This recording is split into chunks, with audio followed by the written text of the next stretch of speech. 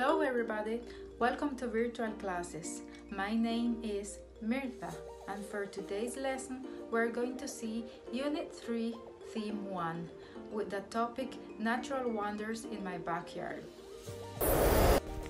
In this lesson, we will learn the use of there is and there are.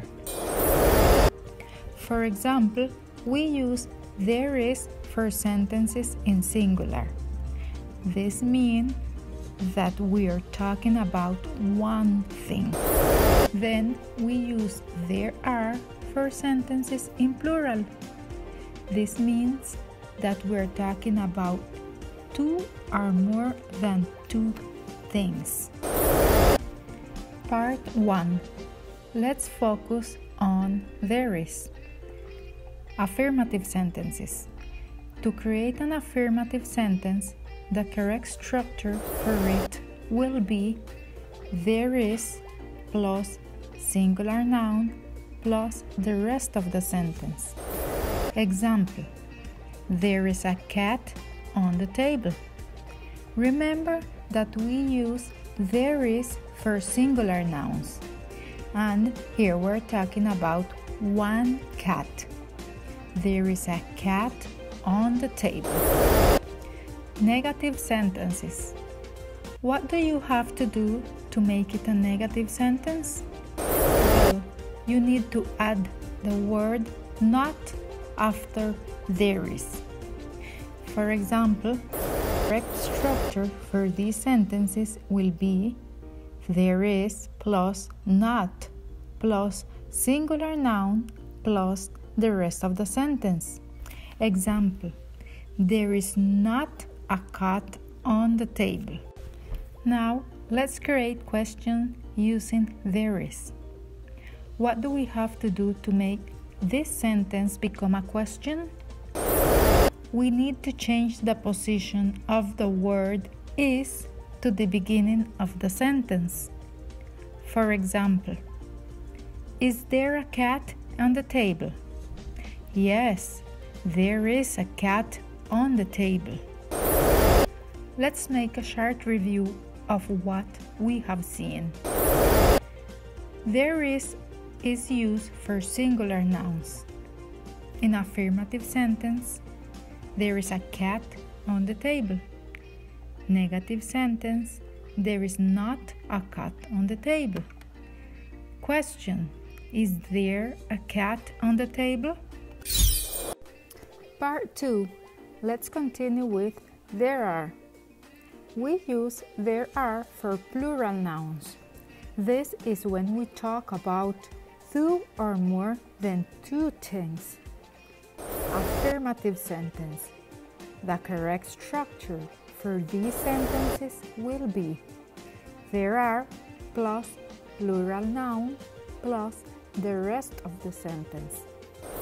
Example There are five trees in my backyard. Remember that we use there are for plural nouns. And in this sentence, we're talking about five trees. There are five trees in my backyard. Negative sentences. How do we form negative sentences? To form a negative sentence, you need to add a not after there are.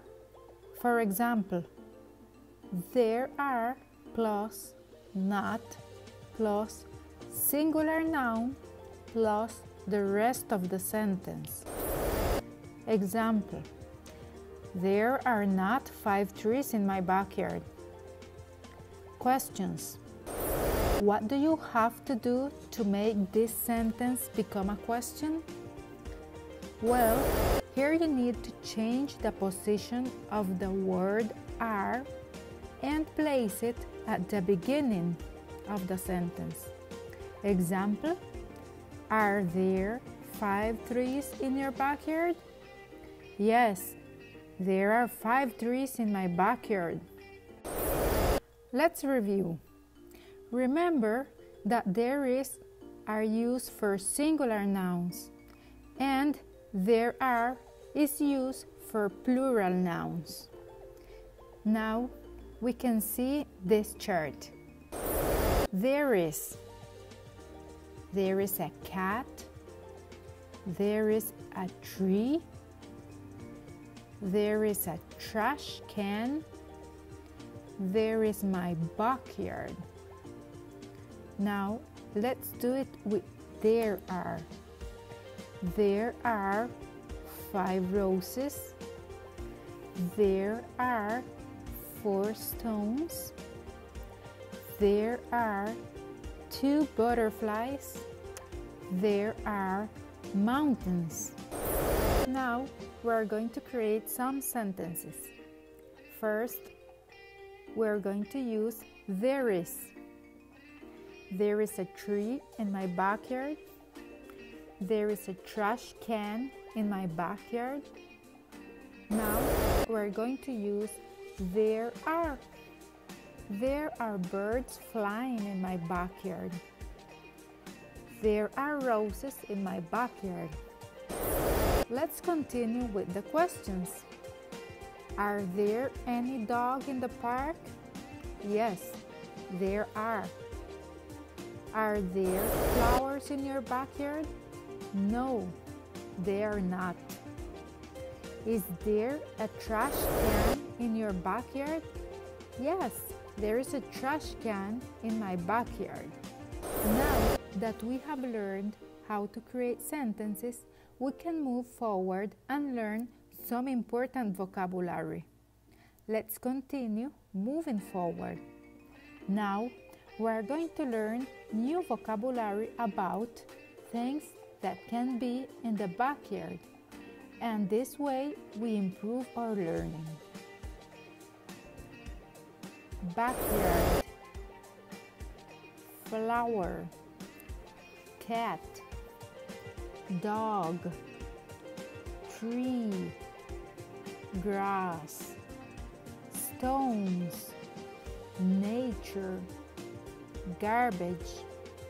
Trash can Plants Rivers mountains, flowers, bugs, rocks, flora, fauna. Time to practice what we have learned. In this part, you will divide the vocabulary that you have learned in living things and non living things. Let's get started. Living things cat, dog, bugs, fauna, flora, non living things, backyard, garbage, trash, stones, mountains. Great job! Now let's continue practicing. Here you have some words of the vocabulary and you will search for them in this crossword. Good luck!